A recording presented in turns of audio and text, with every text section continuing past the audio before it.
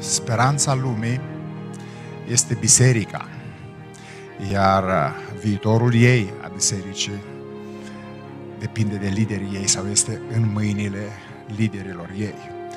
Uh, trebuie să recunoaștem că responsabilitatea pe care o avem este una foarte mare și este foarte mare înaintea lui Dumnezeu.